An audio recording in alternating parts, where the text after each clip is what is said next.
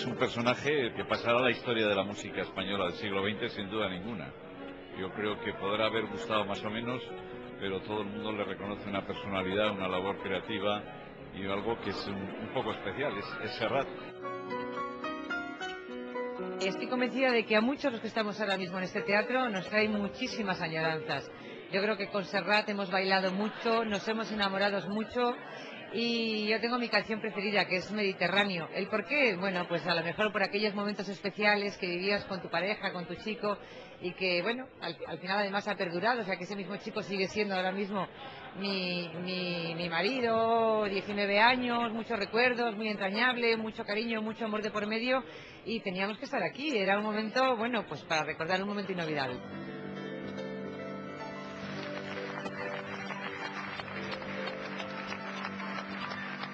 Muchísimas canciones. Por ejemplo, Tu boca me sabe a hierba, eh, Mediterráneo, evidentemente, la del amor, eh, una que tiene de cara al padre, en fin, en general todas.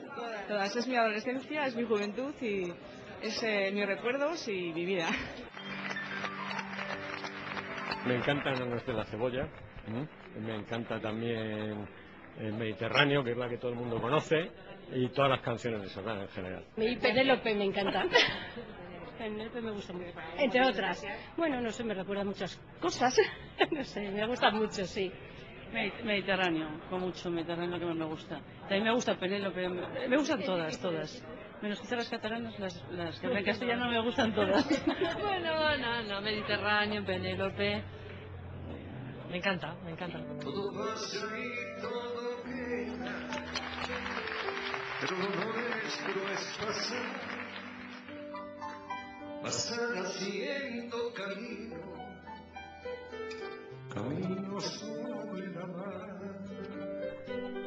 El cantautor Joan Manuel Serrat volvió a Valladolid para continuar con la gira Serrat 100%, iniciada en el año 2005 e interrumpida para convertirse en dos pájaros y un tiro con su compañero de escenario Sabina.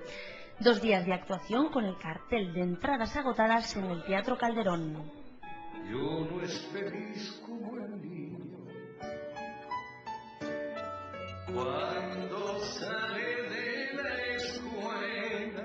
público lleva los cuatro años estos que, este espectáculo 100% eh, eh, con a base de piano y guitarra lleva ya girando por ahí pues está teniendo una, actitud muy, cómplice con, nosotros. ¿no? A fin de cuentas el espectáculo es muy cercano, es, es, como, una, como una, un, resumen de, cada una de las historias, las historias eh, que musicalmente se han tenido que comprimir, de alguna manera, de, sacar la esencia de cada una de ellas.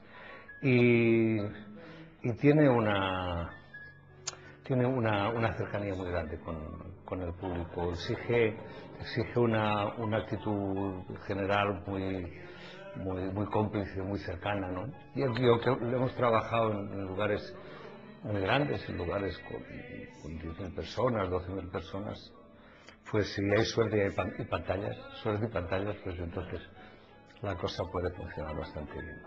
Aquí así ayer, ayer fue emocionante porque aquí fue donde empezamos yo salía de un proceso complicado de salud y, y, el primer lugar donde se hizo este concierto fue en este, este teatro, en, el mes de mayo del 2005.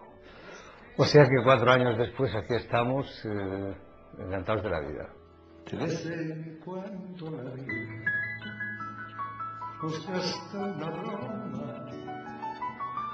y nos despertamos sin saber qué pasa,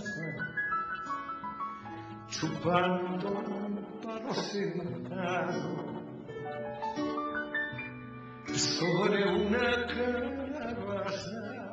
Canciones antiguas, nuevas, depende para quién, ¿sabes?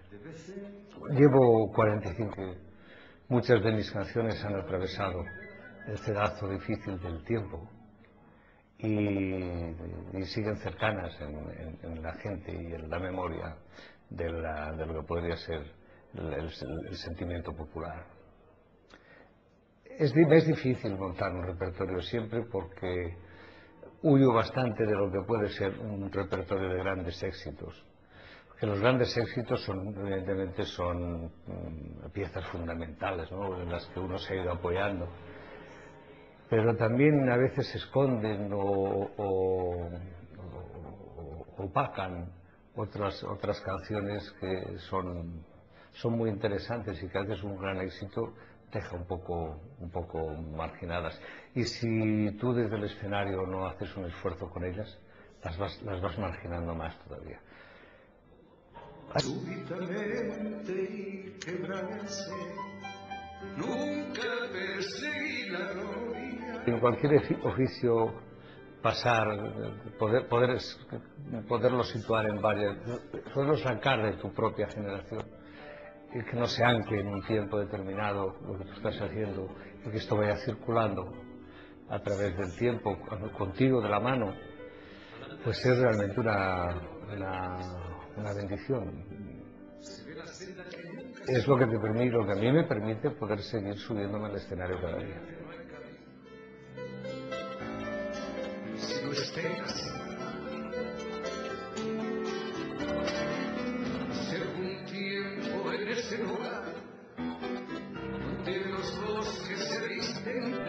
Este concierto 100% tenía que durar una temporada, menos de una temporada. Y lleva durando pues, un, mo- un montón de, temporadas. Pues cada una de ellas, yo cambio lo que es el hilo conductor. Si ahora tengo este hilo conductor, en, en- en otras he tenido, he tenido otros. Son elementos que me permiten, eh, de alguna manera, colgar como de, como de un hilo de, como de un sedal, voy colgando muchos anzuelos. Y estos anzuelos son los que de vez en cuando aparecen y juegan con, ah, con el, con el concierto, eh, siendo un elemento más en el, concierto. Si yo bailara, si supiera bailar, también bailaría. Si supiera eh, hacer eh, juegos malabares, los haría. Yo trataría desde el escenario de hacer todo aquello que pudiera acercarme a la gente más.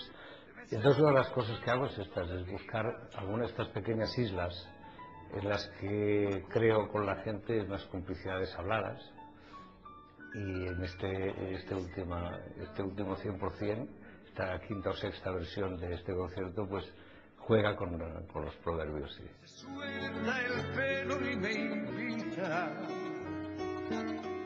A salir con ella escena. De vez en cuando la vida se nos brinda en cueros y nos regala un sueño tan escurridizo que hay que andarlo de puntillas